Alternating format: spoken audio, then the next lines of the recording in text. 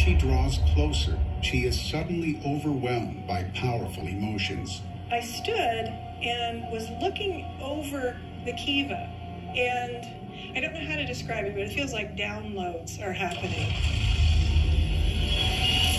Like there's a whole lot of activity. Eileen's uncontrollable feelings continue deep into the night. Unable to sleep, she wanders the mysterious ruins of Chaco. So I was in a kind of an altered state, I would call it.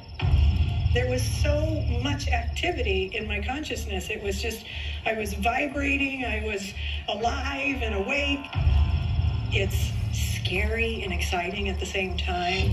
Venturing a short distance from the campsite, Eileen is suddenly confronted by an astonishing sight. I looked up and there was this lit object in the sky. It looked massive, like a massive structure. Inexplicably, the lights mirror Eileen's inner feelings of elation.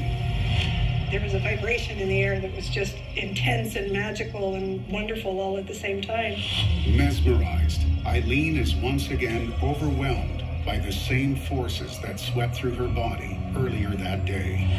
I'm standing there staring at this, thinking I was having just the most incredible epiphany, joyful experience, probably of my life. What could explain Eileen's powerful, uplifting experience when others have terrifying encounters?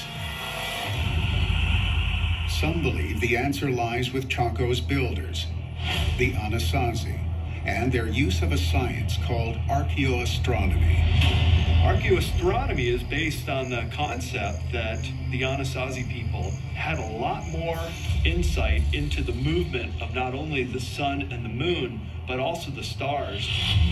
And when we look at the features of Chaco Canyon, there are solstice alignments, there are equinox alignments, and there are even alignments to the sun itself.